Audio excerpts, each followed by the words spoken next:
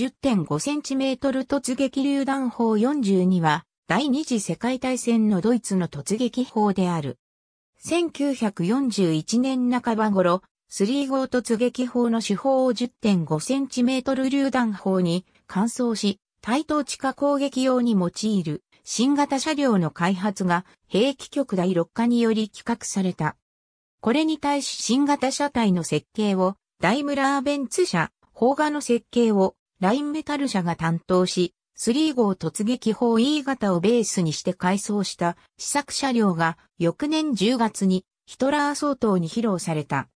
本社を痛く気に入ったヒトラーは量産を奨励し、まず 10.5cm FH18 搭載突撃砲として先行量産型が作られ、早くも11月の末には9両がレニングラード戦線に実戦投入された。これらは既成の突撃砲から改装されたもので、量産型と異なり F8 型車台は用いられていない。なお古い資料では、3号突撃砲が、手法の情報進化に伴い対戦車戦闘が主任務となってきたため、本来の任務に向けた新型として、本社が開発されたとしているが、実際の開発開始は、上記のようにそれよりずっと早く、誤りであったことがわかる。その後、F8 型車台、さらに後には G 型車台を用いての量産が行われた。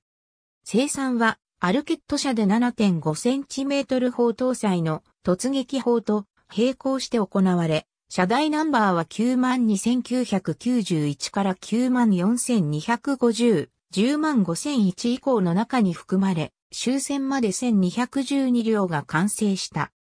実戦において本社を運用した兵からの報告では、完全に評価に値する兵器であり、特に対空表戦闘に不可欠、通常の突撃砲7に対し本社を3の配備比率は正しいと評価されている。